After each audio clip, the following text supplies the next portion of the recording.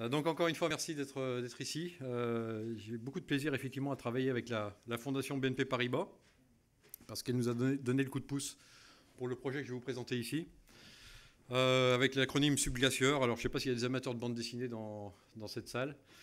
Subglacieur, c'est un clin d'œil à Black et Mortimer, bande dessinée assez connue, et il y a une de ces bandes dessinées qui s'appelle Les sarcophages du sixième continent, où Black et Mortimer vont explorer euh, ce que les Russes euh, conduisent en dessous de la calotte de glace, donc espionnage, etc. Et ils utilisent pour ça un sous-marin qu'ils appellent sub.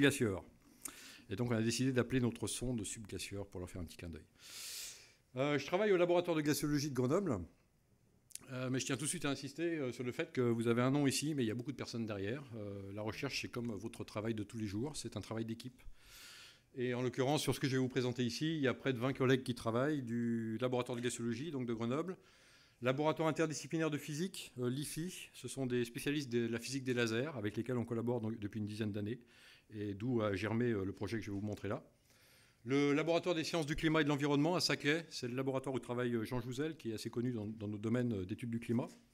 Et puis la division technique de l'INSU, qui nous apporte également un certain apport, c'est le cas de le dire. Et je souligne deux noms, Olivier Alemani, responsable de nos services techniques au laboratoire de glaciologie, et puis Daniele Romanini, qui est la personne qui a breveté cette technologie laser que l'on utilise sur cette sonde révolutionnaire. Alors, commençons par euh, quelques éléments de, on va dire, pour poser les, bases. Qu'est-ce qui, nous, qui nous conduit à les forêts des carottes de glace euh, en Antarctique? Fondamentalement, c'est la compréhension du climat de notre planète. Euh, il faut partir d'abord de ce type de graphique. Ce graphique, c'est quoi? Ce sont les mesures de température euh, de surface de la planète obtenues par des stations météorologiques depuis qu'elles existent. Vous voyez que ça a débuté en 1880. Et à partir de ces stations météorologiques, euh, plus des mesures conduites par des bateaux à la surface des océans, on produit cet indicateur qui est une température moyenne globale. Donc chacun des points que vous voyez sur cette courbe, c'est la température moyenne de la planète, année après année. Et vous observez qu'on a finalement relativement peu de recul, 1880 jusqu'à 2014 inclus. Et ce qu'on observe, eh ben, c'est cette tendance au réchauffement euh, qui s'est particulièrement marquée depuis les trois dernières décennies, avec un réchauffement moyen global qui se situe de, l'ordre de 1 degré aujourd'hui. Alors bon, ça c'est de l'observation, on va dire, court terme, euh, un siècle. Ce qui nous intéresse, nous, au regard de nos enfants, de nos petits-enfants et des générations futures, c'est ce qui va se passer au-delà. Et au-delà, on ne dispose pas d'observation par essence, donc on repose uniquement sur de la modélisation. Euh, donc ce sont des, encore une fois, une branche de la recherche, des collègues qui travaillent à mettre en équation euh, du mieux qu'on peut euh, toute la physique qui gouverne le climat de la Terre. Donc en gros, ce sont des modèles météo améliorés, travaillant à différentes échelles de temps et d'espace pour simuler le climat du futur. Et une fois que ces modèles, on va dire, tournent bien sur les conditions actuelles, on leur impose des conditions différentes d'aujourd'hui, en imposant un peu plus de gaz carbonique, un peu plus de méthane, un peu plus d'autres gaz à effet de serre dans l'atmosphère, et on voit leur réponse. Bon, ces modèles, ils sont faillibles, hein, comme tout modèle issus par, euh, de l'homme, et les enjeux quand même sont assez conséquents pour les sociétés. Et au-delà de la capacité des modèles, en fait, il y a des questions qu'on se pose en tant que, chercheur travaillant sur la machine. Euh, je les liste ici. Euh, la question des rétroactions. Dans un climat plus chaud, dans quelle mesure le cycle naturel des gaz à effet de serre va conduire à ce que des gaz à effet de serre produits naturellement vont s'ajouter à ce que la composante humaine met déjà dans l'atmosphère? Variabilité climatique naturelle, euh, quel est le rôle des éruptions volcaniques? Quel est le rôle du forçage solaire? Euh, L'activité solaire influence également le climat. Dans quelle mesure on peut attendre euh, un renforcement ou au contraire une atténuation du forçage dû aux activités humaines par cette variabilité naturelle? Ce sont des questions auxquelles on tente de répondre. Et puis le dernier point, les effets irréversibles. Dans un climat plus chaud, la Terre peut basculer en fait dans un état qui est tout à fait différent de celui qu'on connaît aujourd'hui. Et euh, le retour finalement à l'état initial prendra énormément de temps, au moins aux échelles humaines. Je vais vous prendre un exemple, euh, la calotte de gaz du Groenland. Euh, on sait qu'elle est en phase de réchauffement très important aujourd'hui. on sait qu'à un certain moment, elle va commencer à se décomposer. Une fois que cette décomposition est engendrée, elle est, à notre sens, irréversible. C'est-à-dire que si le climat se refroidit, dans quelques milliers d'années, on peut à nouveau former une calotte de gaz sur le Groenland. Mais aux échelles de temps des sociétés humaines, c'est quelque chose qui ne sera pas réversible. Donc dans tout ça, notre rôle, c'est euh, en tant que scientifique travaillant sur les climats du passé, c'est d'étudier différents types d'archives qui vont nous permettre d'une part euh, d'étendre l'étendue des, d'histoire des forçages et du climat, parce que vous voyez bien encore une fois qu'on a peu de recul. Euh, pour ce qui concerne les données météo, seulement 130 ans typiquement. On va également se focaliser sur ce qu'on appelle les rétroactions lentes du système climatique, c'est-à-dire quels sont les éléments de la machine climatique terrestre qui répondent sur des échelles de temps à l'échelle du siècle ou du millénaire. Évidemment, des échelles qu'on ne va pas aborder avec ce type d'échelle d'observation. Je liste trois de ces composantes. La cryosphère, je vous citer l'exemple de la réponse du Groenland au réchauffement climatique. Comment la cryosphère se comporte dans un état climatique différent? À quelle vitesse les glaciers se décomposent? À quelle vitesse ils relarguent de la glace euh, dans les océans qui conduit à l'élévation du niveau des mers? Ce sont des questions qu'on peut aller chercher dans le passé. Autre exemple, le cycle du carbone. Euh, vous n'êtes pas sans savoir qu'il y a des stocks de carbone extrêmement importants dans les sols gelés euh, des hautes latitudes, que ce soit en Sibérie ou au Canada. dans le contexte de, réchauffement climatique, on sait que ces sols sont conduits à fondre. Une partie du coup de la matière organique qui était stockée depuis des milliers d'années va être amenée à se décomposer. Et les questions qui se posent, c'est est-ce qu'on va récupérer en sortie du gaz carbonique ou du méthane qui a un effet de serre plus important que le gaz carbonique? Euh, Les réponses à ce type de questions, là encore, on peut aller chercher dans le passé, puisque ce type de réservoir de carbone a déjà expérimenté des variations de température importantes dans le passé. Dernier exemple, la circulation océanique. Euh, probablement qu'un certain nombre d'entre vous ont vu le, scénario catastrophique euh, le jour d'après au cinéma. Bon, la réalité sera probablement très très différente de ce qui se passe dans le film La jour d'après. Mais notre climat dépend aussi de la circulation océanique, et cette circulation a des constantes de temps qui sont typiquement de l'échelle du millénaire. Donc euh, comprendre la circulation océanique aux grandes échelles, ça demande encore une fois d'aller se projeter dans le passé. Euh, last but not least, euh, finalement un résultat important de nos travaux, c'est de pouvoir tester les modèles climatiques sous des conditions limites différentes. je l'ai déjà dit tout à l'heure, les modèles sont faillibles. la confiance qu'on a dans des modèles, c'est aussi à leur capacité de reproduire ce qui s'est passé dans d'autres conditions et typiquement celles qu'on va rencontrer dans le passé. Voilà, donc ça c'est pour vous expliquer un peu les, bases très très générales de nos études. Après on en arrive à la glace. Alors la glace c'est une des archives sur lesquelles on s'appuie, euh, il y en a beaucoup d'autres, hein, euh, la formation des coraux, les, anneaux d'arbres, les sédiments lacustres, les sédiments marins, toutes ces archives finalement qui sont créées par, la Terre naturellement. Notre travail c'est d'aller récupérer des forages au travers de ces archives, remonter dans le temps, et mesurer toute une série de composés, euh, d'éléments chimiques dans ces archives pour reconstituer des éléments qui nous intéressent en lien avec le climat et l'environnement. Alors là, je vous ai listé euh, quelques-uns des éléments qu'on étudie sur ces carottes de glace. La photo vous montre typiquement une, ben, une carotte de glace, c'est ça, hein. c'est un diamètre de 10 cm euh, dans laquelle vous trouvez essentiellement de la glace. Et puis tous ces petits points blancs, ce sont des petites bulles d'air qui se forment quand la neige se transforme en glace. Et elles nous intéressent beaucoup, ces petites bulles d'air, parce que c'est grâce à elles qu'on reconstitue la composition de l'atmosphère en gaz, et notamment en gaz à effet de serre. Mais il n'y a pas que ça. Euh, on étudie euh, la température, l'évolution de la température. Alors là, si vous voulez rentrer un peu dans le détail, on pourra en discuter au moment des questions. Mais on repose sur euh, en fait des mesures d'isotopes, isotopes lourds et isotopes légers, constituant la molécule d'eau, en l'occurrence deutérium hydrogène et oxygène 18, oxygène 16, qui nous informent sur la température qu'il faisait au moment où le flocon de neige s'est formé dans l'atmosphère. Euh, l'accumulation, le taux de précipitation, c'est une information d'ordre climatique également. Et bien que la glace soit un matériau extrêmement pur, si vous allez en Antarctique, en fait, vous allez trouver l'eau la plus pure du monde. Hein. Euh, je disais en anecdote ce matin, je le répète ici, euh, on nous conseille quand on est sur le terrain d'éviter de boire de la neige fondue sans manger avec, parce que l'eau est tellement pure qu'elle joue comme une pompe ionique une fois qu'elle arrive dans l'estomac, et donc ça génère des crampes, des crampes d'estomac. Donc il est conseillé de manger avec. Mais il y a quand même des aérosols en très faible quantité, hein, c'est quelques milliardièmes de grammes par gramme de glace. Et euh, on va les mesurer pour caractériser différents éléments du système climatique terrestre.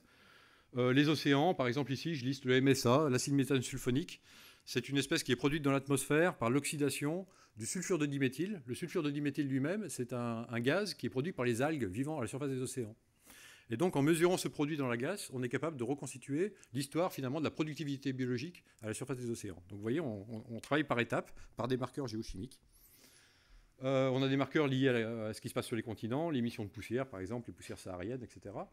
Euh, les émissions volcaniques, des produits qui viennent de l'espace ou qui sont produits en lien avec euh, ce qui se passe dans l'espace, qu'à dire.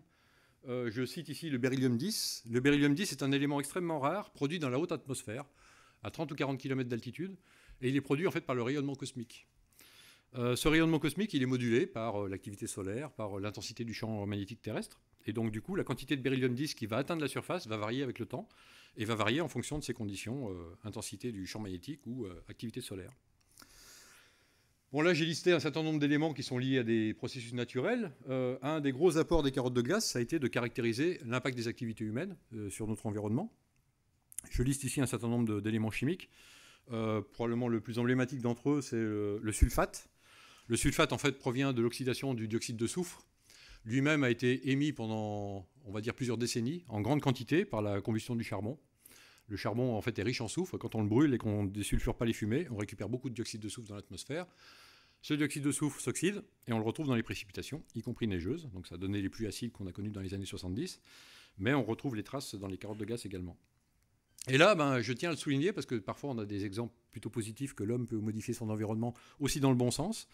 Euh, la concentration en sulfate dans la plupart des carottes qu'on a étudiées euh, est montée de manière spectaculaire jusqu'au milieu des années 70 et depuis a baissé très fortement, essentiellement par la mise en place de politiques de désulfuration des fumées sur les centrales à charbon. Donc comme quoi, quand on veut, on peut. Et on envoie euh, le résultat sur un, finalement un, moyen de monitoring très lointain des sources, ce qui est très utile. concentration en métaux lourds, on a pu également caractériser ça. Ici, je marque le 16e 137. C'est un élément qui est produit euh, ben, par les essais thermonucléaires notamment, ou par les centrales nucléaires. Euh, on en retrouve de très belles traces dans les neiges du pôle sud. Et ça nous montre à quel point on vit dans une seule atmosphère. C'est-à-dire que les essais thermonucléaires conduits par les Américains, les Soviétiques, les Français, les Chinois, fin des années 50, années 60, euh, tous les éléments radioactifs qui ont été émis dans l'atmosphère se sont retrouvés un peu partout, y compris dans la neige du pôle sud. Et nous, très cyniquement, on s'en sert pour dater la neige. Voilà. Et composition gazeuse euh, de l'atmosphère, je vous en ai parlé, c'est avec ces petites bulles. Alors la science des carottes de glace, c'est une science relativement jeune. En fait, elle a 50 ans. Euh, en France, elle a été inaugurée par, euh, enfin lancée par un scientifique qui s'appelle Claude Lorius, fondateur de notre laboratoire, et qui a hiverné en Antarctique en 1957-58 dans une tente avec deux de ses collègues. Et c'est là qu'est née la gaziologie finalement en France. Au niveau international, le premier forage profond a été conduit à Camp Century, ici au, nord, euh, nord-ouest du Groenland, par les Américains. Et euh, ben, vous voyez en fait nos territoires principaux d'action. On va chercher de la glace là où elle est pérenne, euh, là où elle s'accumule en grande quantité et là où on peut remonter loin dans le temps. Donc c'est typiquement la calotte de glace du Groenland et la calotte de glace de l'Antarctique. pour vous situer, pour ceux qui ne savent pas, l'Antarctique c'est 25 fois la France en surface, donc c'est un territoire assez considérable. Et donc sur ce territoire grand comme 25 fois la France, vous voyez ici l'ensemble des sites où on a été amené à conduire des forages au-delà de 1000 mètres de profondeur pour étudier le, climat et l'environnement passé. Quelques chiffres pour euh, donner entre guillemets les records. Euh, le forage le plus profond réalisé à ce jour, ce sont les soviétiques, puis ensuite les russes, qui l'ont conduit à la station Vostok. Euh, Vostok, en fait, c'est le, point le plus froid du monde. Hein. Température moyenne annuelle, moins 58 degrés. La température la plus froide qui a été observée sur Terre, c'était dans cette base, au milieu des années 80, en plein hiver. Ils ont mesuré moins 89,6 degrés. Euh, et il y a des gens qui y travaillent, enfin il faut être russe pour y travailler, je dirais. J'ai eu la chance de visiter cette base et je peux vous dire que c'est quand même pas des conditions très agréables de travail. Toujours est-il que les soviétiques ont commencé à y forer en 1970 et ils ont atteint en février 2012 3769 euh, mètres de profondeur, il ne pouvait pas aller plus profond parce qu'en dessous, c'est un lac. En fait, sous le glacier, sous ces 3769 mètres d'épaisseur de glace, il y a un lac euh, considérable qui fait la taille de la Corse, qui fait plusieurs centaines de mètres d'épaisseur. Euh, paradoxalement, ce n'est pas le forage qui nous a ramené la glace la plus ancienne. La glace la plus ancienne, euh, Cocorico, ce sont les Français avec les Européens qui l'ont obtenue, sur ce site de Domsé, où a été construite la base franco-italienne Concordia, base permanente, c'est une des trois bases permanentes au cœur de l'Antarctique. Il y a Vostok russe, euh, euh, enfin Concordia franco-italien, et Pôle Sud qui est géré par les Américains. Et à Domsé, en fait, on a foré jusqu'à 3270 mètres de profondeur. Là, c'était le socle rocheux, par contre, c'était pas un lac. Et on a remonté de la glace qui date de 800 000 ans, qui est donc la glace la plus ancienne que l'on ait pu remonter à la surface à ce jour. Alors vous allez me dire, mais pourquoi elle est plus ancienne alors que c'est moins profond? Ça tient en fait aux conditions d'écoulement du glacier. Là encore, si vous avez des questions, je pourrais rentrer un peu plus dans les détails ensuite. Alors justement, ce forage euh, EPICA, c'était European Project for Ice Coring in Antarctica, donc 10 nations européennes mises ensemble pour euh, forer jusqu'à ces 3200 et quelques mètres de profondeur. Euh, j'ai extrait, ben, je dirais, les courbes les plus importantes, celles qui intéressent très directement nos sociétés. en haut, alors déjà pour préciser le cadre, à gauche, c'est la période actuelle. À droite, vous avez moins 800 000 ans. Ici en noir, c'est la courbe de température. En fait, c'est la température qu'il faisait à la surface de l'Antarctique euh, quand la neige s'est formée à, ce moment-là. Donc on le reconstitue avec les isotopes de l'eau. Et ce que vous voyez, en fait, c'est qu'aujourd'hui, on est dans une période chaude. Il y a 20 000 ans, on était au dernier maximum glaciaire. Donc, euh, dernier maximum glaciaire, pour vous expliquer un petit peu les choses, c'est un monde en moyenne 4 à 5 degrés plus froid qu'aujourd'hui. donc seulement 4 à 5 degrés plus froid. ça correspond à un niveau des mers plus bas de 120 mètres. Donc ça veut dire que l'homme de Cro-Magnon pouvait en fait traverser la Manche à pied pour aller en Angleterre. On n'avait pas les mêmes relations avec les Anglais à l'époque. C'était pas une île. Et la France, c'était une steppe, une steppe aride. Voilà. Donc 4 à 5 degrés de différence sur le climat global. Euh, ça se traduit avec ce type de terme euh, quand on parle des changements climatiques naturels. Gardez ça en tête parce que euh, à l'horizon de la fin du XXIe siècle, c'est quand même le genre de chiffre qu'on propose sur la base des modèles climatiques dans un contexte de scénario le plus négatif, c'est-à-dire business as usual, on continue à brûler de l'énergie fossile au rythme auquel on le brûle aujourd'hui. Ça nous conduit effectivement à du plus 4, plus 5 degrés à la fin du XXIe siècle. Donc ça, c'est l'aspect quantitatif. Ensuite, vous voyez que le climat en Antarctique, et ailleurs d'ailleurs dans le monde, suit des cycles avec des périodes chaudes qui se succèdent à peu près tous les 100 000 ans. Et entre ces périodes chaudes, on a essentiellement un état de climat glaciaire. Et la chose la plus importante, au-delà de cette euh, quantification de la température euh, qu'on a, qu'on a obtenue de ces carottes, ça a été de, mesurer sur les mêmes carottes de glace la concentration en dioxyde de carbone dans l'atmosphère, donc principal gaz à effet de serre, le méthane, qui est un autre gaz à effet de serre euh, secondaire en importance derrière le méthane, et l'émioxyde d'azote ou protoxyde d'azote, qui est encore une fois un gaz à effet de serre. Et ce qu'on constate, eh ben, il n'y a, pas besoin de, se gratter beaucoup la tête pour, euh, pour constater qu'il y a une très très belle corrélation entre ces courbes. Alors corrélation ne veut pas dire euh, relation de cause à effet, mais ça veut dire d'une part que quand le climat terrestre euh, change de cette façon-là, les cycles naturels de ces gaz à effet de serre sont impactés. Et en climat plus chaud, ça conduit à produire plus de gaz à effet de serre à l'état naturel. par ailleurs, on a pu calculer combien d'énergie supplémentaire était stockée à la surface de la planète par le fait que la concentration en CO2, en méthane ou en hémioxyde d'azote changeait avec les amplitudes qu'on a pu observer dans les carottes de glace. Et la conclusion, c'est que pratiquement la moitié de l'amplitude des variations de température que vous voyez là euh, sont expliquées par ces changements de gaz à effet de serre. C'est-à-dire qu'on a besoin naturellement d'avoir cette amplitude des changements naturels de gaz à effet de serre pour expliquer l'amplitude des variations de température. L'autre moitié, ce sont essentiellement liés à la quantité de poussière présente dans l'atmosphère et à ce qu'on appelle l'albédo terrestre, c'est-à-dire la capacité qu'a la Terre à renvoyer plus ou moins l'énergie qu'elle reçoit de l'espace vers l'espace. Donc ça va dépendre essentiellement de sa couleur. Euh, quand on met, euh, pour prendre un, parallèle extrêmement caricatural, si vous prenez de la neige qui est toute blanche, euh, pratiquement toute l'énergie qui va arriver à la surface de cette neige va être envoyée vers l'espace et ne sera pas absorbée par la, surface de la Terre.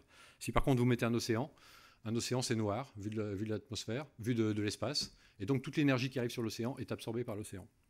Donc cette autre moitié est liée au fait qu'en passant d'un climat glaciaire à un climat interglaciaire, la surface de la planète change assez drastiquement euh, en termes de surface de neige, surface de végétation, type de végétation, et ça conduit à amplifier encore le changement climatique. J'entoure ici en rouge, en bleu et en vert euh, les concentrations euh, d'aujourd'hui de ces trois gaz à effet de serre. ça encore, ça a été mesuré dans les carottes de glace. On a pu reconstituer l'évolution sur les derniers 200 ans. Et puis maintenant, ces gaz à effet de serre, je dirais depuis la fin des années 50 pour le CO2 et puis la fin des années 70 pour les autres, euh, sont mesurés systématiquement par des réseaux de surveillance et d'observation. Euh, concernant le, CO2, aujourd'hui on arrive à 400 millionièmes de l'atmosphère en moyenne globale, euh, c'est-à-dire plus 50% par rapport aux niveaux les plus élevés qu'on observait pendant les périodes chaudes. pour le méthane, eh ben, l'effet est encore plus important, puisque vous voyez que le méthane, il est en train de toucher le firmament là, dans ce graphe. Euh, augmentation de 150% par rapport euh, au, niveau euh, des périodes chaudes hors activité humaine. Et puis pour le protoxyde d'azote, pour l'instant, on a une, augmentation relativement modeste, mais il faut modérément s'en réjouir parce que le protoxyde d'azote est un gaz qui reste très longtemps dans l'atmosphère. Il se trouve que son temps de vie moyen dans l'atmosphère est de l'ordre de 150 ans, c'est-à-dire que quand on a mis du N2O dans l'atmosphère, le temps qu'il en parte, si on en prend des mesures, va être très long. Donc on a les conséquences pour longtemps. Euh, juste pour vous compléter ces éléments-là, vous pouvez peut-être vous poser la question euh, pourquoi c'est monté comme ça et quelles activités humaines sont derrière. Le gaz carbonique, pour l'essentiel, c'est la combustion des énergies fossiles. Hein. donc on prend du charbon, du pétrole et du gaz, on le brûle, on produit du CO2. Mais pas que.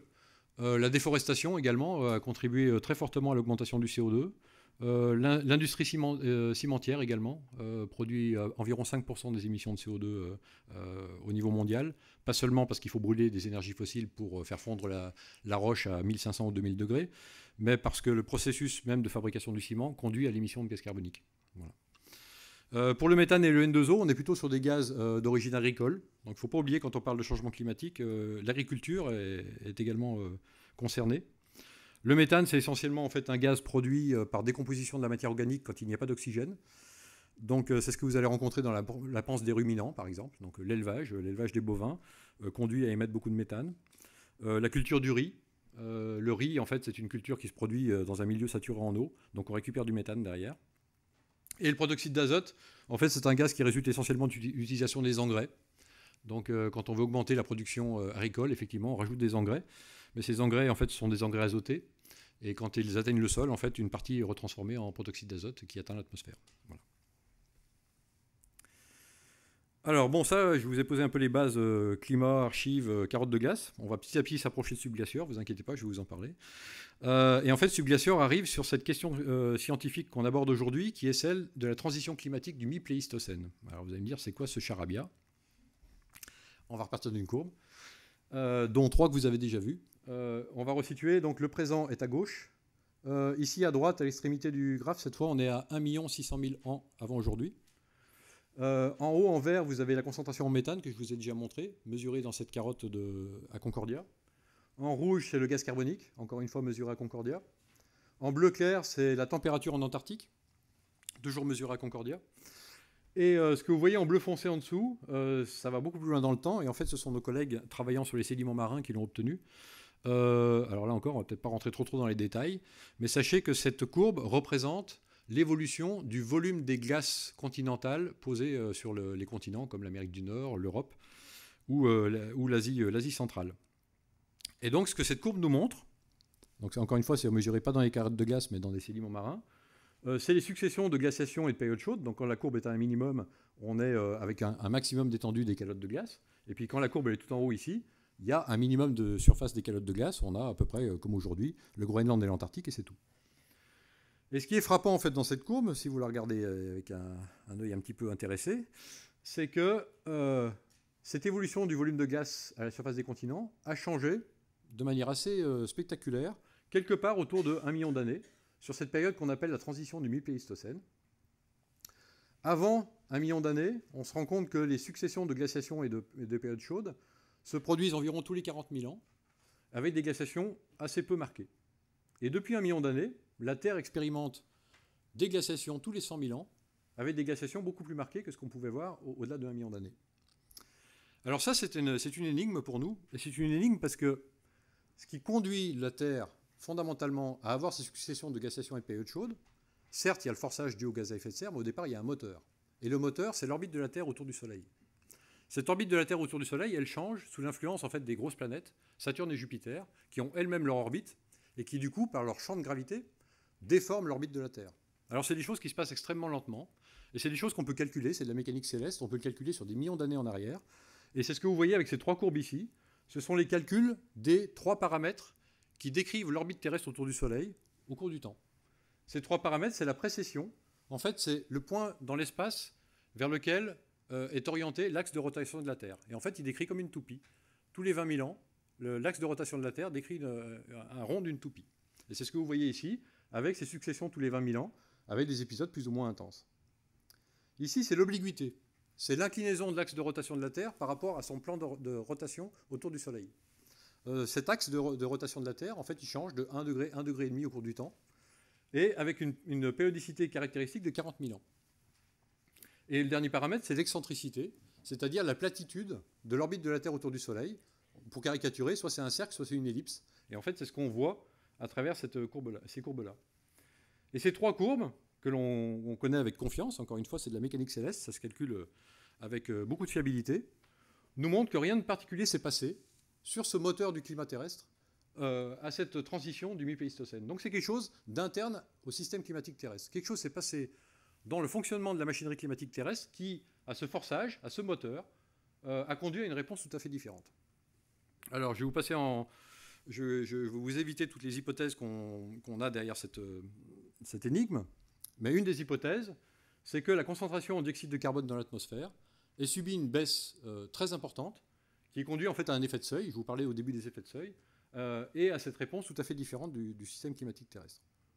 Donc on a besoin de savoir combien il y avait de gaz carbonique dans l'atmosphère il y a plus 1 million d'années.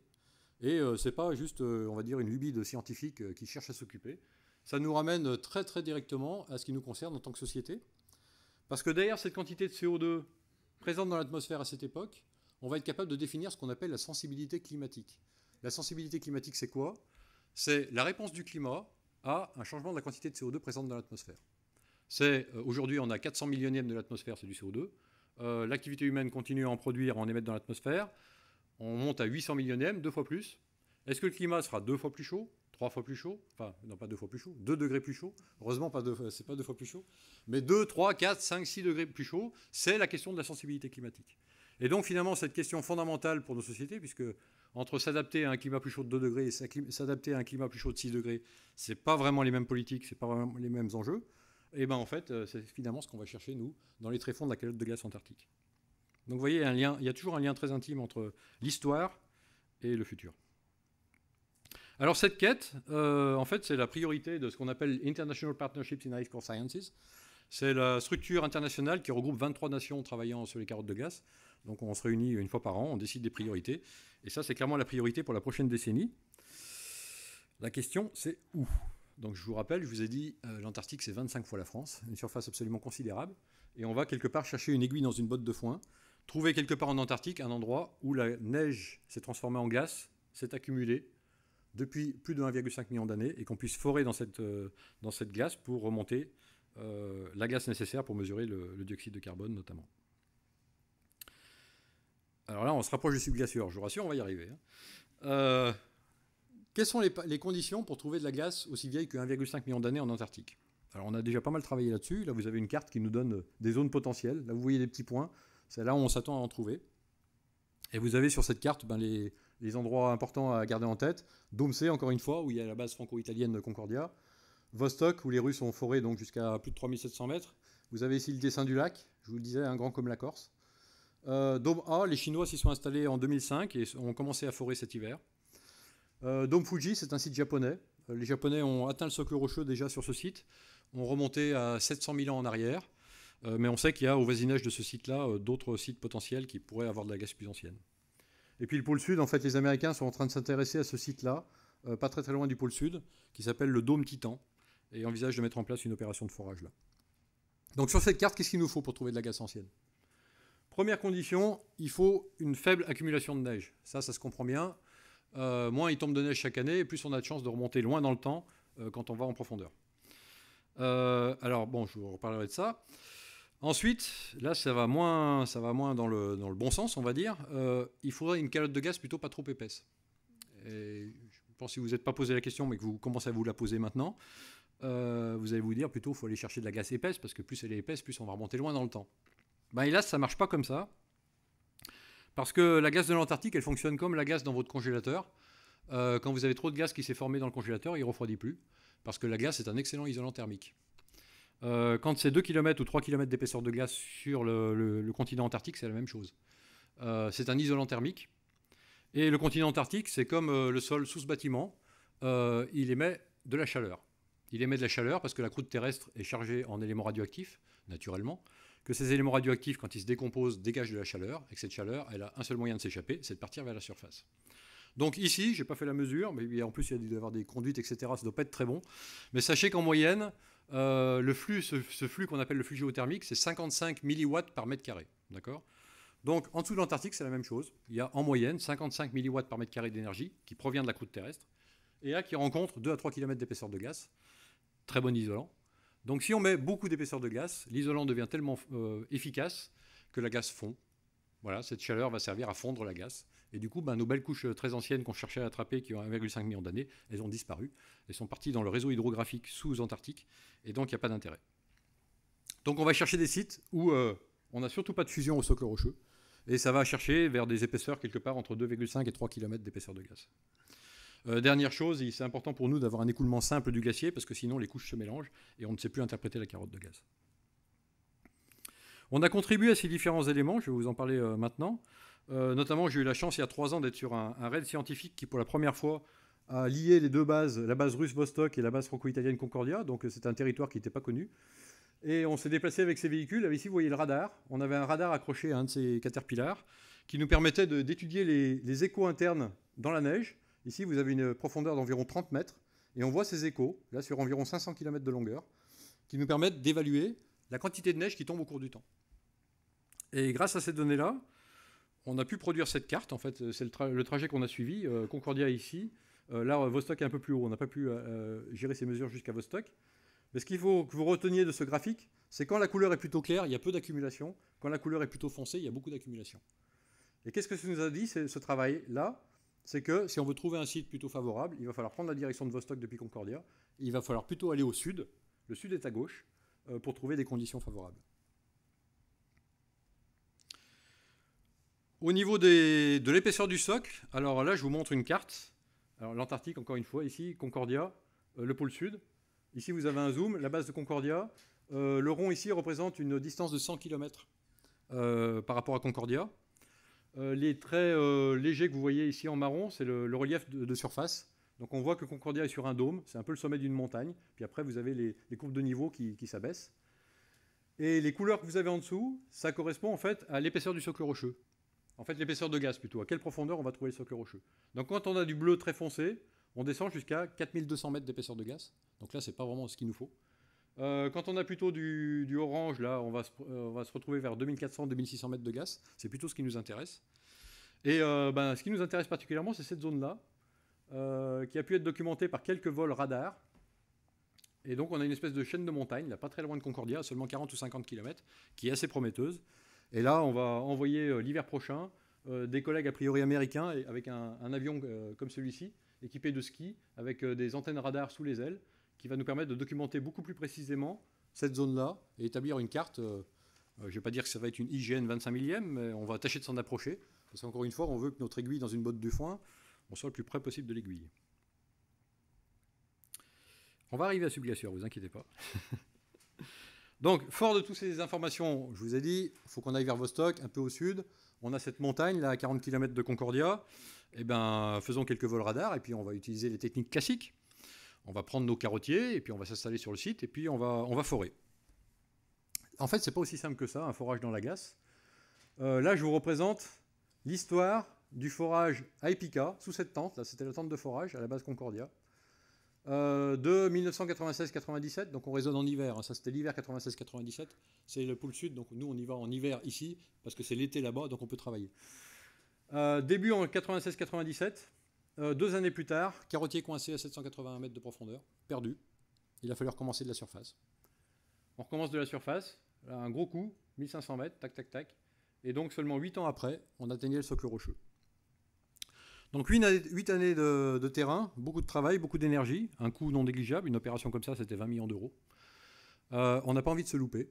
Donc euh, on ne va pas mettre ça en place sans avoir d'abord vérifié que le site est bon.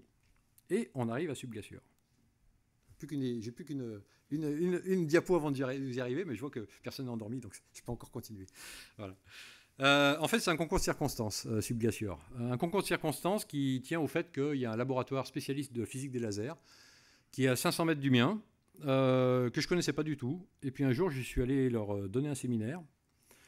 Et il se trouve que c'était juste au moment où ils venaient de breveter une nouvelle technologie et ils cherchaient des applications. Donc la mayonnaise a prise tout de suite.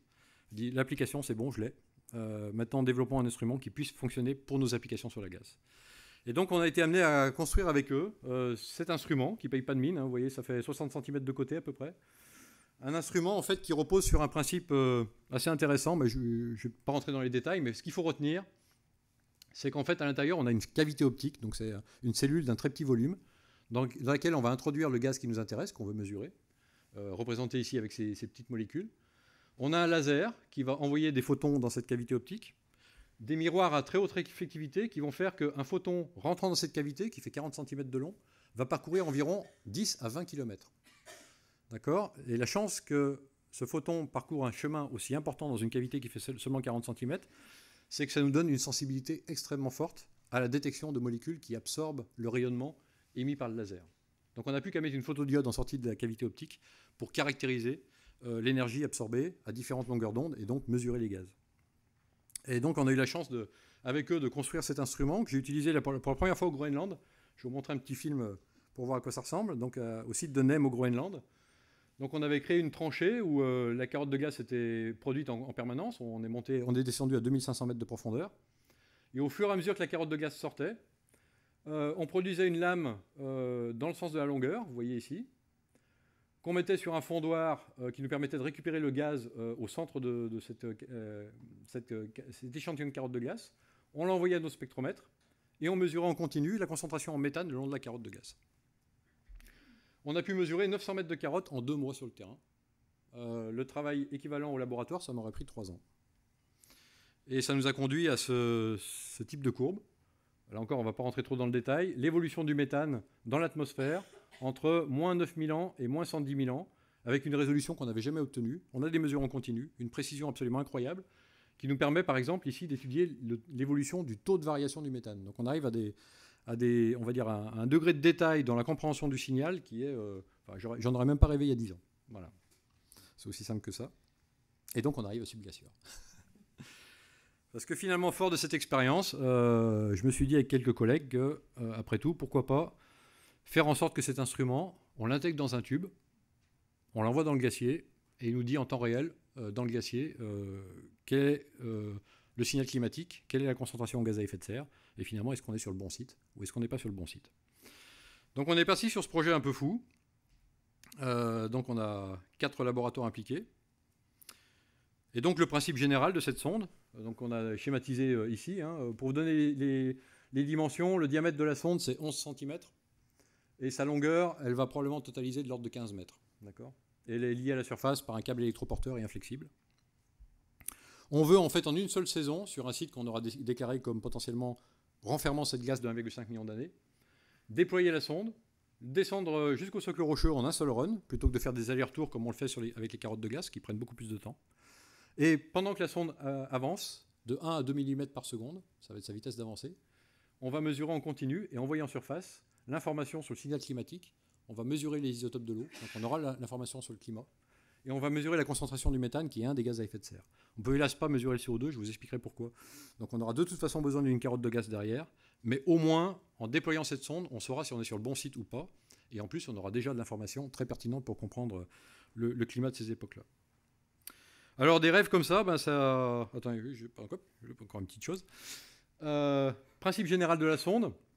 Ici, on a représenté la calotte de glace. Donc en, surface, on a euh, un flexible qui va nous permettre en fait d'alimenter la sonde en fluide euh, pour évacuer les copeaux. On va produire des copeaux en fait au fur et à mesure que la, sonde avance dans le, dans le, trou de forage. Et ces copeaux, on va les envoyer en surface pour les filtrer et renvoyer un fluide propre vers la sonde. Euh, en fait, il faut mettre un fluide, c'est important de le dire, il faut mettre un fluide dans le trou de forage, parce qu'un glacier, c'est comme euh, beaucoup de choses dans la nature, euh, il a horreur du vide. Donc si on fait un trou, il se referme. Voilà. Donc s'il se referme sur la sonde, nous, on n'est pas content. Donc il faut maintenir de la pression, et donc il faut mettre un fluide qui reste fluide à moins 50 degrés, et qui nous permette de transporter les copeaux, etc. C'était une partie du travail de l'équipe de trouver un fluide qui marche bien, et on a trouvé une huile silicone qui fait tout à fait l'affaire. Et ben parlons sous, hein. je pense que dans la banque ça vous parle un peu. bon, le coup de pouce, hein, ça a été la fondation BNP Paribas. Euh, grâce à Jean Jouzel, j'ai rencontré Jean-Jacques Goron et puis ses collègues, et ils ont été convaincus que l'idée était intéressante, qu'il y avait une prise de risque certes énorme, mais que le jeu en valait la chandelle. Et donc euh, ils nous ont remis ces 100 000 euros qui nous ont permis de démarrer euh, sur le concept. Donc avancer sur la solution technologique. on a recruté un ingénieur pour arriver à un dessin de la sonde qui soit raisonnable et défendable auprès de, bailleurs de fonds plus importants. Et puis ensuite, eh ben, on est allé chercher les gros sous. Et les gros sous, on les a obtenus essentiellement au Conseil européen de la recherche. Donc euh, au total 3 millions d'euros euh, du projet, mais on en, consacre 2, 2 millions 3 à la sonde. Euh, L'Agence nationale de la recherche, l'ANR, qui nous a fourni pratiquement 500 000 euros. Et puis Investissement d'avenir, qui est un programme que Nicolas Sarkozy avait mis en place quand il était président, qui visait en fait à équiper les laboratoires de recherche en France, quels que soient les domaines scientifiques, avec des équipements de pointe. Et donc c'était un programme très ambitieux. On en a bénéficié à travers un projet qui s'appelle ClimCore, qui vise à équiper en fait la communauté française qui étudie les climats du passé avec des outils de forage les plus performants possibles, que ce soit pour la glace, que ce soit pour les sédiments marins, que ce soit pour les sédiments lacustres ou que ce soit pour la roche. Voilà, donc c'est en mettant tout ça ensemble, euh, un budget de 3,2 millions d'années, euh, de, de, 3,2, oui, la déformation, hein, c'est terrible. Hein. Voilà, il y en a qui parlent en euros, moi je parle en années. Voilà, 3,2 millions d'euros, je vais y arriver. Euh, on arrive à produire cette sonde, à, la construire et puis à la, mettre en place sur le terrain. Alors un petit clin d'œil quand même à Jean-Jacques, parce que ce petit coup de pouce de la Fondation BNP Paribas, ça nous a valu ben, de recevoir le, prix spécial du jury pour le programme Climate Initiative lors des trophées du mécénat 2012 du ministère de l'Environnement et du Développement durable. Et voilà, je pense que c'était une récompense bien méritée parce que, comme le disait Jean-Jacques, il y a aussi beaucoup d'autres actions euh, au-delà de Subglacieur euh, qui bénéficient aux sciences du climat. Alors la sonde, elle existe maintenant, en partie. Euh, je vous ai mis cette photo, c'est l'instrument. C'est ce qui devrait être dans ce tube en verre.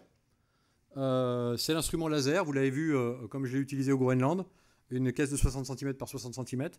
On a complètement revu la géométrie, on a changé les, éléments techniques à l'intérieur, et on arrive maintenant à ce que ce spectromètre tienne dans un tube de 50 mm de diamètre, 1 mètre de long. Et c'est un tube qui est contrôlé au centième de degré Celsius, puisque c'est la précision du contrôle de température nécessaire pour la qualité des mesures que l'on veut. Donc il faut imaginer quand même que ce, petit engin-là euh, va se balader dans de la glace qui va être entre moins 50 degrés et moins 5 degrés. Et il va falloir quand même qu'on le stabilise au centième de degré Celsius. Donc ça fait partie des, petits challenges technologiques qu'on a eu à gérer. On s'appuie beaucoup sur la technologie euh, aérospatiale en fait pour ce genre de, choses.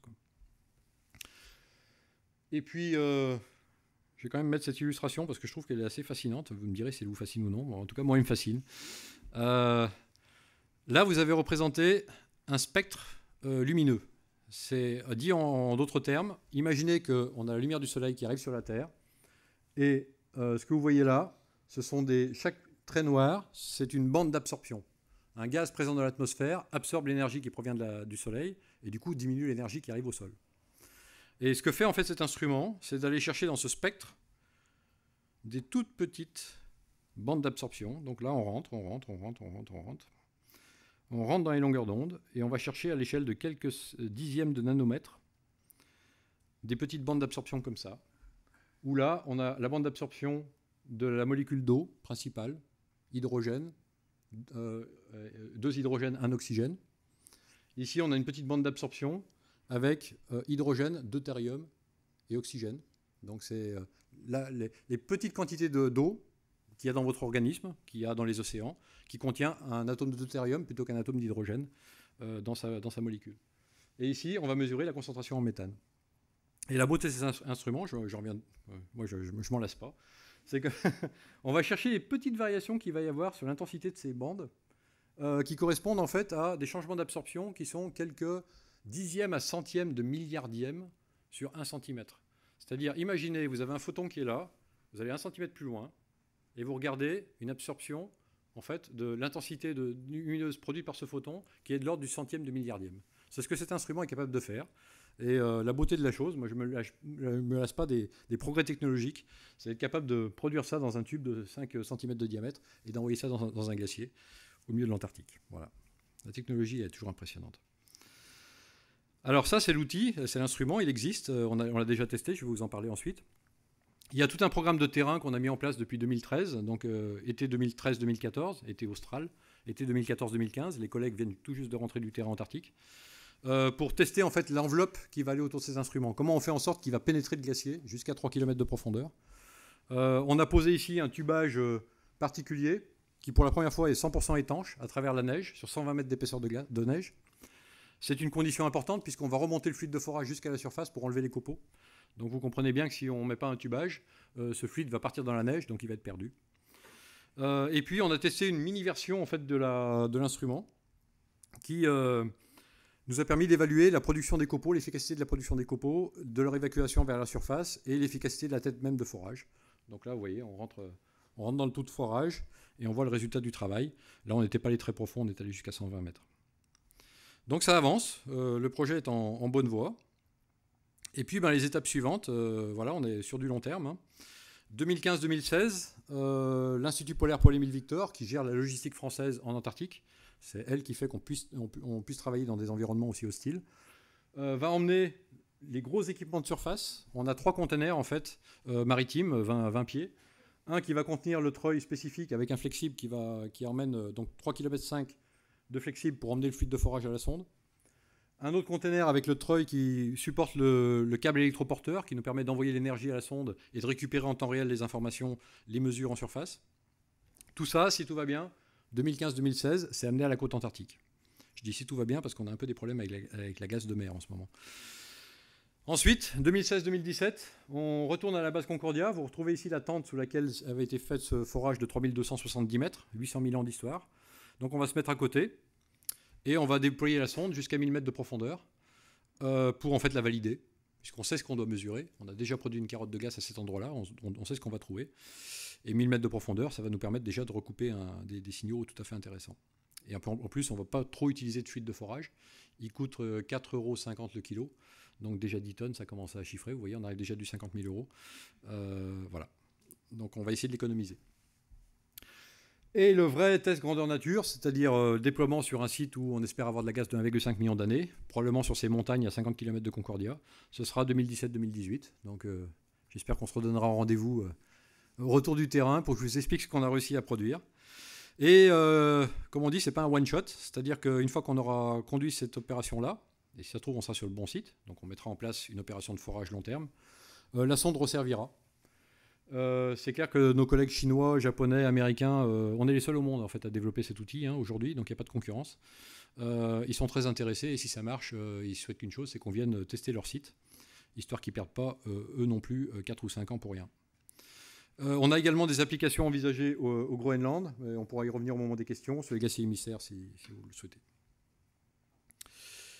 Puis là encore, euh, c'est des choses fascinantes en, science. Euh, il y, a des concours de circonstances qui font les choses. Je vous parlais de, la rencontre avec ces physiciens des lasers. Il y a un an, euh, je me suis dit que tester l'instrument uniquement dans la glace en, 2016-2017, on courait peut-être des risques. L'instrument existait, donc autant le tester dans un autre environnement relativement facile d'accès, et on est allé dans l'océan. En l'occurrence, on est allé en mer Méditerranée. Vous allez me dire, au mois de juillet, il y, y a pire à faire. Voilà. On a eu accès à un bateau de recherche pour aller au large de Nice.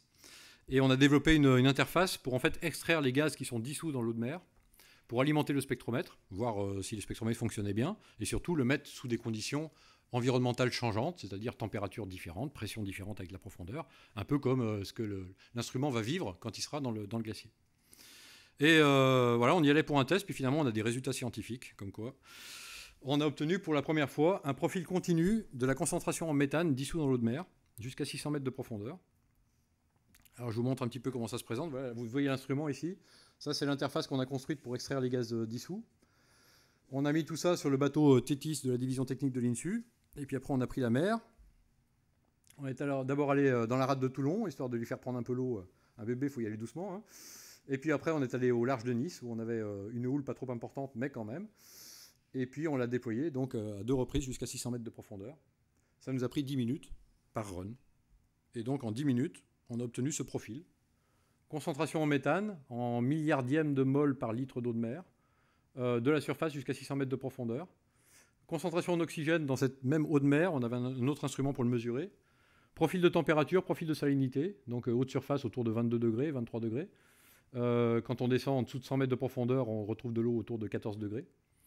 Et puis on voit cette structure qui n'avait jamais été observée, parce que ce type de mesure ne se faisait jamais en continu. Euh, où on voit un minimum de méthane ici, une diminution du méthane qui correspond à une augmentation de l'oxygène, qui nous dit qu'il y a probablement des processus biologiques dans cette lame d'eau à étudier, qu'on ne connaissait pas. Donc euh, on est des gassiologues, on n'est pas des océanographes, mais voilà, ça ouvre, une piste euh, assez intéressante. Et au-delà de ça, en fait, l'existence même de cet outil, qui est capable de mesurer les, gaz dissous dans les, océans, différents gaz, avec une précision vraiment remarquable et une très grande résolution dans le temps, il y a plusieurs applications qu'on envisage. Une qui concerne la surveillance des, puits pétroliers offshore. Euh, vous avez probablement en tête la catastrophe du, euh, euh, de BP Deepwater Horizon dans le golfe du Mexique en 2010. ça a changé un peu la donne sur les forages offshore, se met en place des législations plus contraignantes. Et tôt ou tard, les pétroliers devront effectivement mettre en place des outils de surveillance de manière à ce qu'en temps réel, ils sachent s'il y a une fuite ou non sur le, puits de forage. Et typiquement, notre instrument serait tout à fait adapté à ce type de, de mesures. Euh, dégazage d'hydrate de méthane, je marque ça également, c'est une des, des, cartes, euh, des wildcards comme on dit, du système climatique.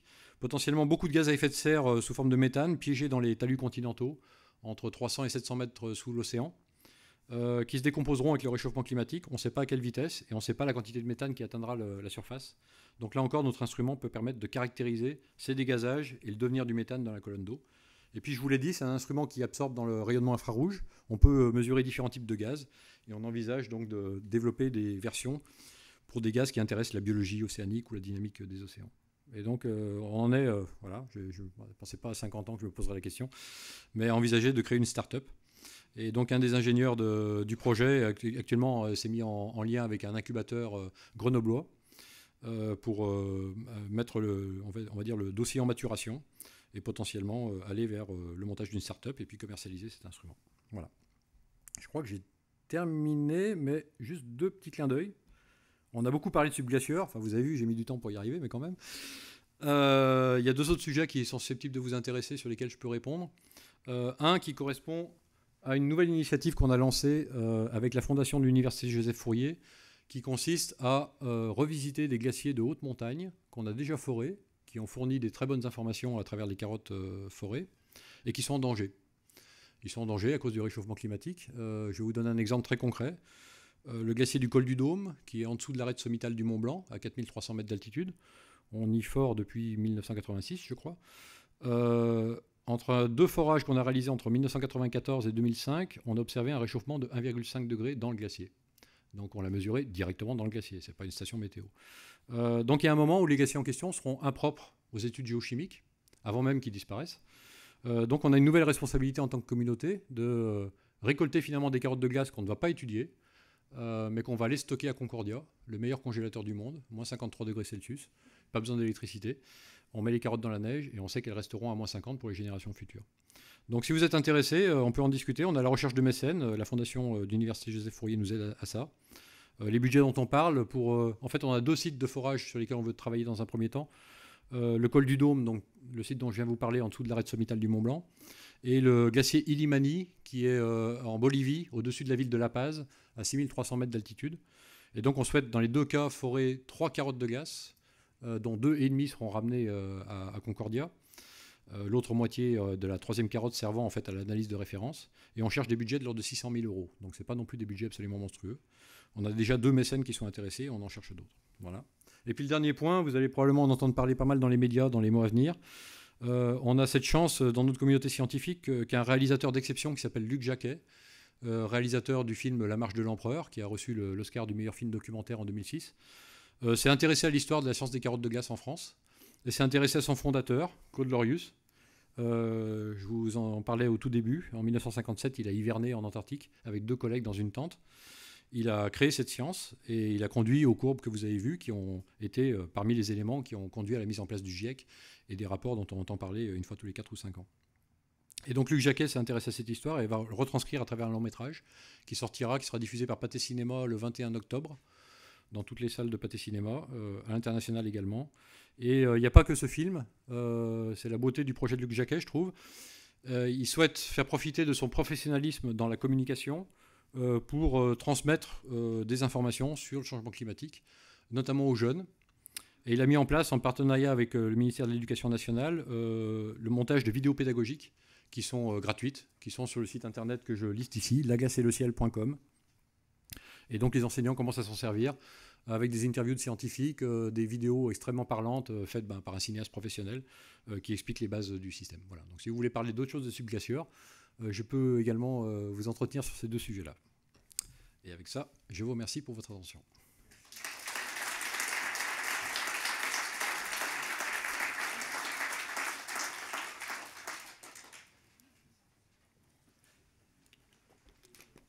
Des questions il y avoir un, micro qui peut circuler.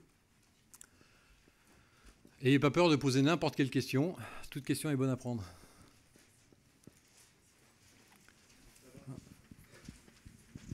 Bonjour. Au, à un moment donné, au début de l'explication, vous avez parlé des mouvements de température de 4 ou 5 degrés, mais à la hausse, mais en expliquant qu'avant, donc plus bas qu'aujourd'hui, euh, en gros, il y avait, on allait à pied en Angleterre et l'Europe, enfin la France et l'Europe étaient une steppe.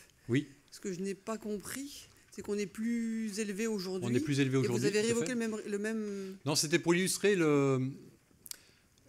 Un chiffre comme 5 degrés, tout le monde l'a en tête. Parce que euh, entre aujourd'hui et cette nuit, vous allez vivre plus de 5 degrés de différence de température. Entre, entre l'hiver et l'été, vous vivez des différences de température de 30 degrés. Donc quand vous voyez des simulations de modèles climatiques qui vous disent euh, fin du 21e siècle plus 5 degrés, ça veut dire quoi? C'est important de se rendre compte qu'un chiffre comme ça veut dire quand on considère la planète dans son ensemble. Et c'est faire le distinguo essentiel entre météorologie, ce que nous on vit en tant que citoyens à l'échelle euh, journalière à, annuelle, et euh, ce qui est l'échelle du climat. Donc voilà. Juste pour revenir sur les premières courbes, vous avez montré à gauche, il y avait les points, enfin, mesurés au temps présent sur la concentration, si je comprends bien, de certains gaz. Les points extrêmement élevés, donc au, temps, au temps présent, sont, pour vous, sont, sont dus exclusivement à l'activité humaine? Vous avez donné des exemples.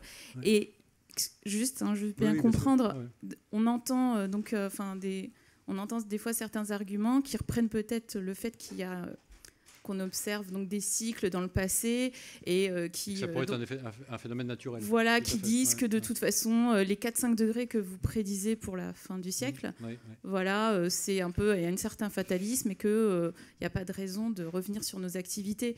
Qu'est-ce que vous répondez bah, Heureusement, on n'a pas qu'un seul argument. Euh, enfin, on ne se reposerait pas uniquement sur une coupe comme ça pour dire c'est tout de la faute de l'homme. Euh, l'outil principal dont on dispose, c'est la, géochimie isotopique. C'est-à-dire que la molécule de CO2, euh, celle que vous avez dans cette pièce, celle que vous expirez, elle est constituée de carbone et d'oxygène. Et le carbone, en fait, il a plusieurs isotopes. Il a le carbone 14, le carbone 13 et le carbone 12. Et il se trouve que le rapport entre ces isotopes dépend de la source.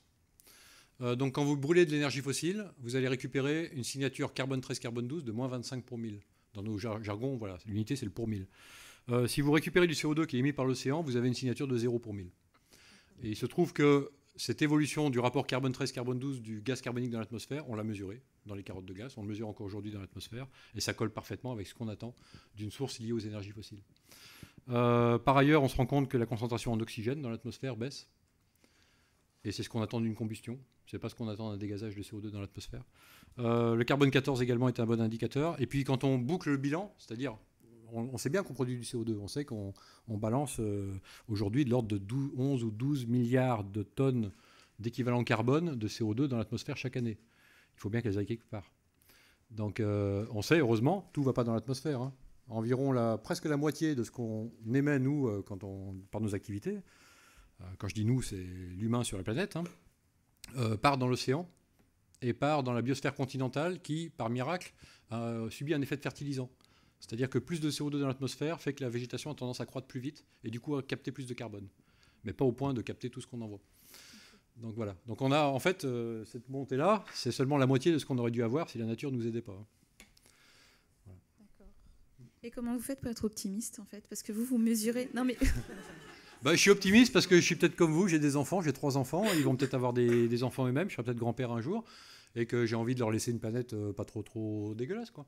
Et je me dis qu'à un moment, euh, on va arrêter avec euh, de, se voiler la face et puis on va prendre nos responsabilités. Il y, a, une analogie que j'aime beaucoup que fait mon collègue Gilles Ramstein du, du LSCE. Il nous compare aux dinosaures. les dinosaures, ils ont disparu de la surface de la planète il y a quelques dizaines de millions d'années.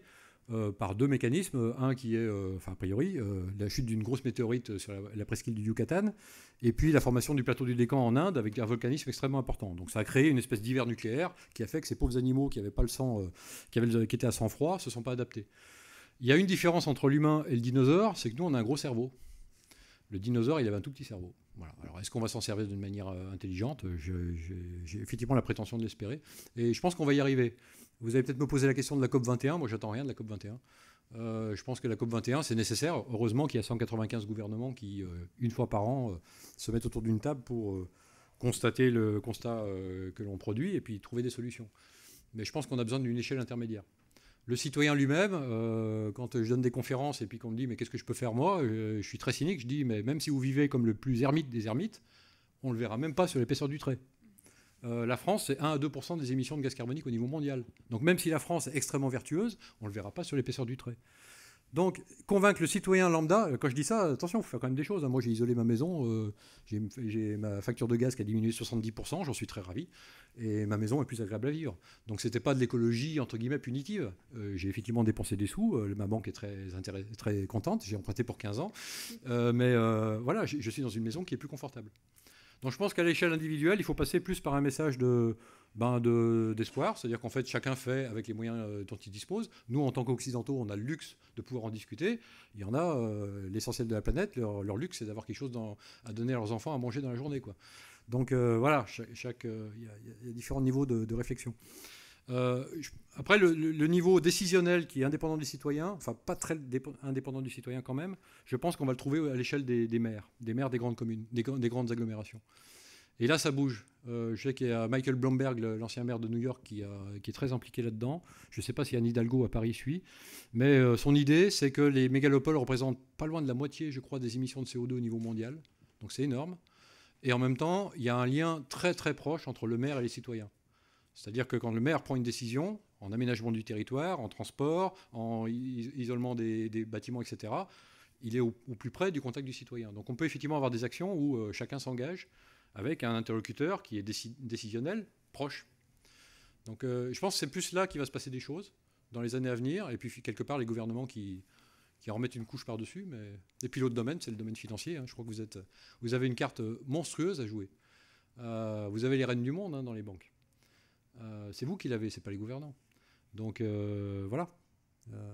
J'espère que vous en êtes conscient et que voilà, vous avez votre rôle à jouer également. Donc la façon dont vous décidez d'investir l'argent euh, où vous mettez vos investissements entre effectivement des projets qui, euh, qui sont viables, qui résonnent en termes de cycle de vie, ou des, des, projets à court terme qui résonnent uniquement profit, ben voilà, ça, fait partie d'un élément. Vous avez, vous avez des possibilités de décision.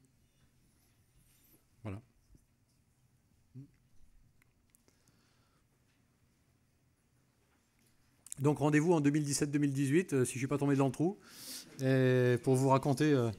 voilà. Merci pour votre attention encore.